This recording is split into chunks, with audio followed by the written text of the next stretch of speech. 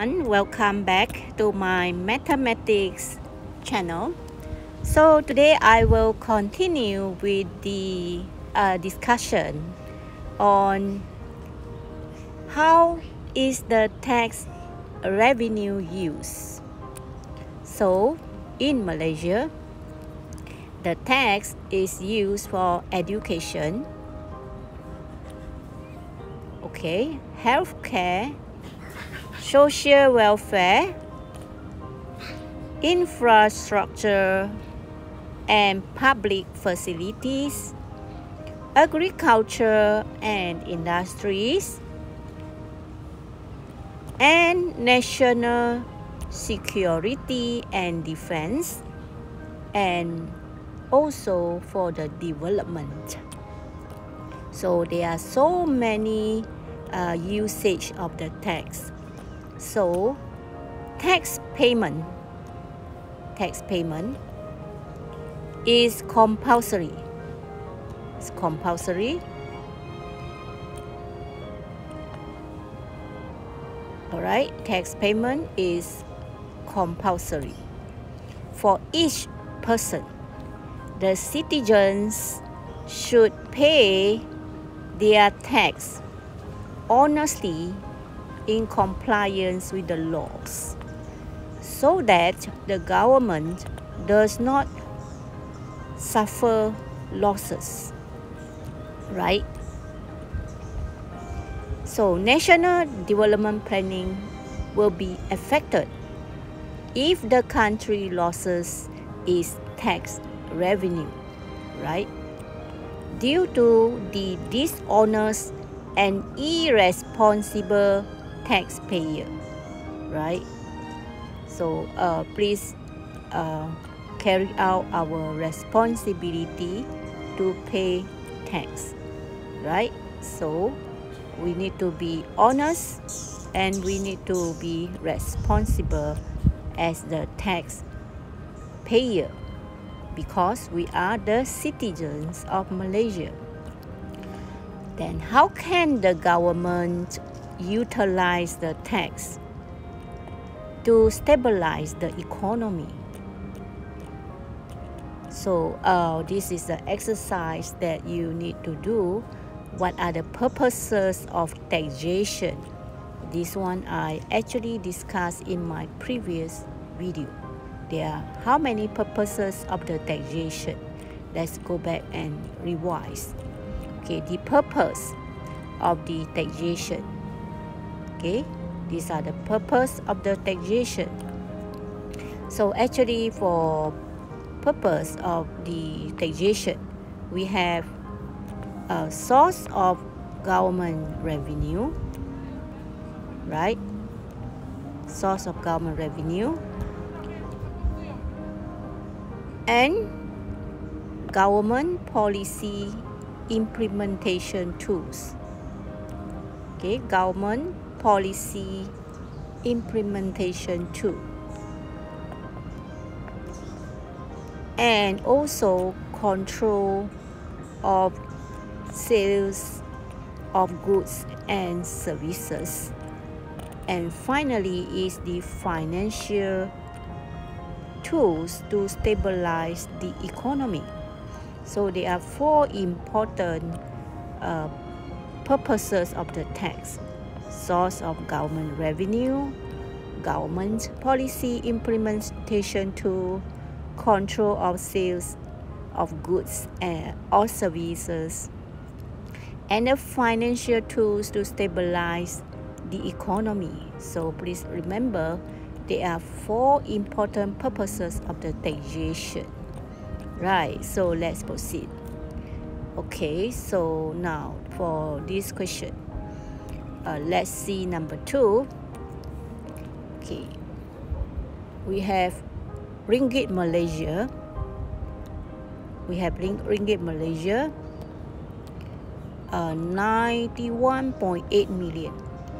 Collected as of July 9 right. So Kuala Lumpur the government raised 91.8 68 million through the real property gain tax.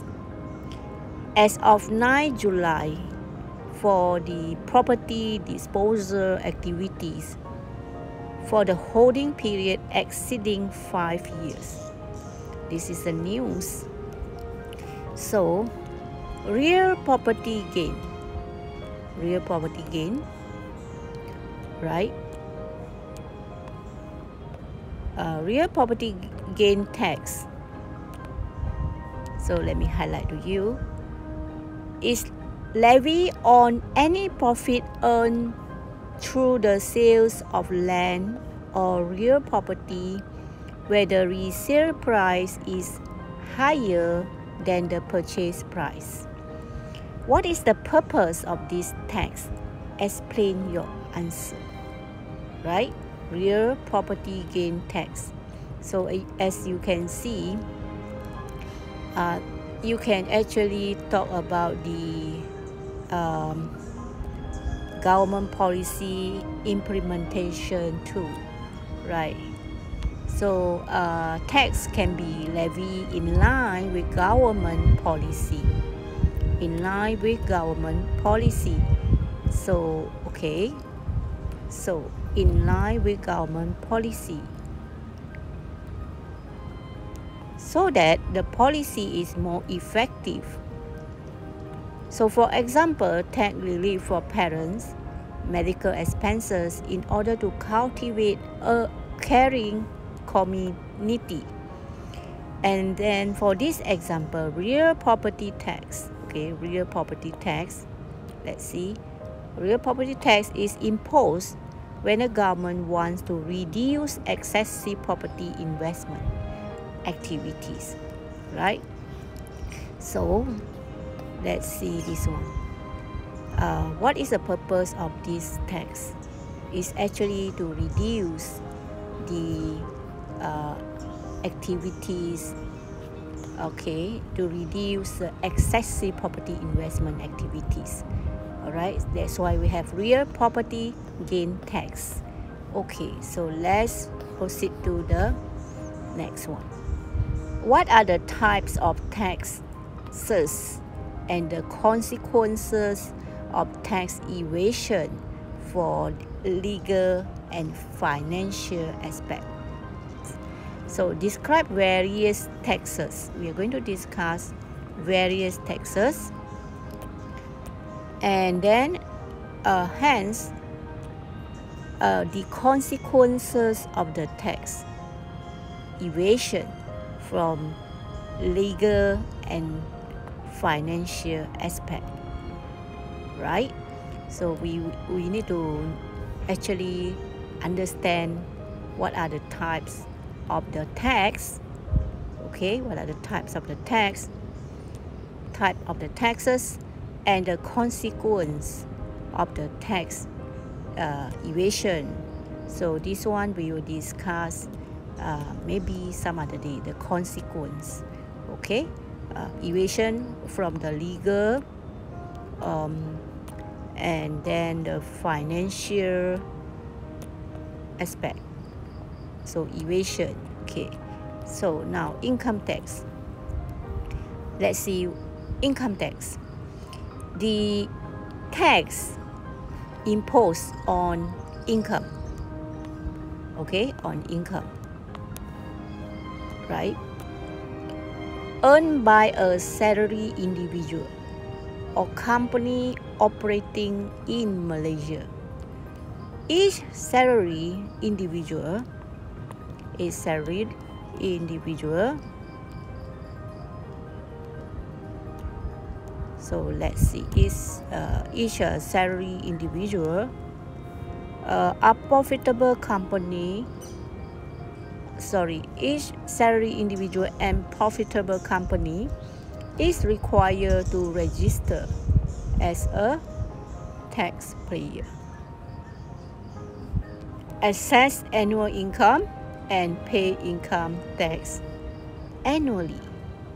Annually right so uh, it's very important that uh, we uh, pay uh, tax if we have income, right? So report all income. We must be honest, we must report all income. And then tax exemption, exemption also we need to report. Tax uh, reduction also and also tax relief and tax rebate by submitting income tax return form. Income tax return form. Okay? Uh, in Malay borang nyata cukai pendapatan. Alright. Either by form or electronically via internet EZ hasil. Self assessment self-assessment, let's see, system is implemented. Taxpayer should make self-assessment, keep record and pay a certain amount of tax.